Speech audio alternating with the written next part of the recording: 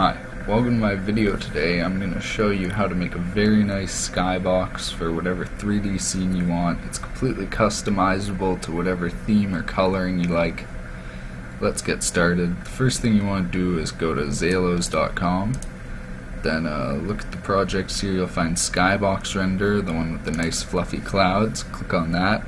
If you go in here, you'll have a noisy clouds that you can't really see the detail, they'll slowly fill in.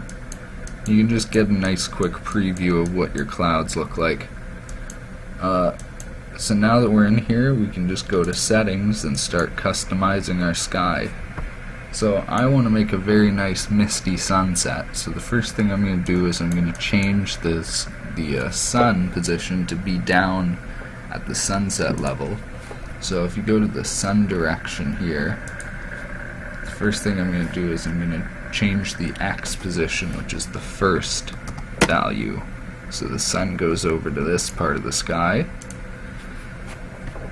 Then I'm going to go to the Y, which is the next value here, and change it to 0.2. You can't see it because it's behind the clouds, but you can tell by the nice uh, yellow-orange tint on the clouds that it is sunset. Now I'm going to increase the sun size so you can increase the uh, sun brightness and you can see it a bit better.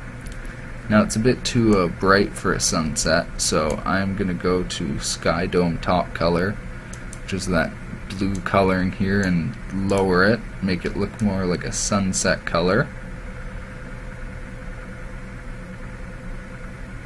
Get that kind of purplish. Yeah. That's a nice sunset coloring. Then I'm going to go and I'm going to customize the clouds a little bit. Go down to cloud movement here and I will raise the clouds a bit higher up in the sky.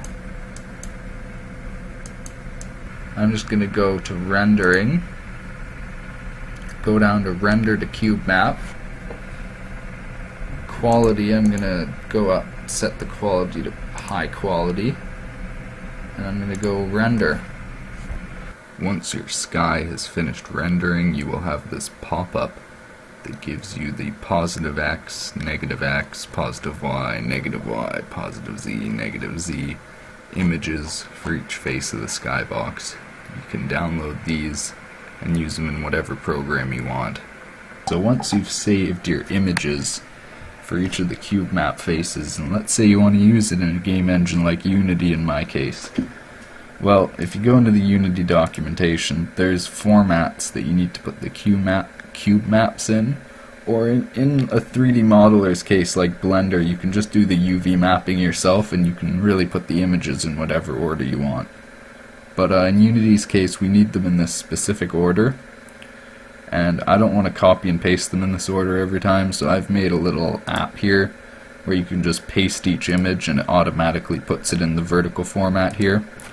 So I'm just gonna take all these images I have here from the cube map and I'm gonna put each one into the app.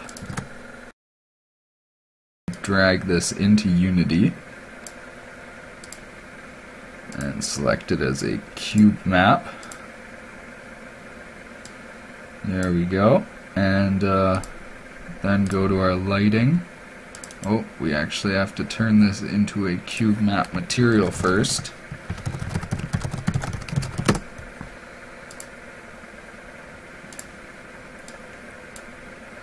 Now we can put that as our background and go to our camera and set that to skybox.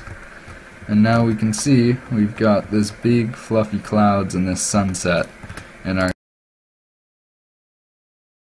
and we've got a nice scene lit by our skybox. Provides some nice reflections. Thanks for watching guys, hope you enjoy the Skybox app, and uh, please share the things you make with it if you make anything with it.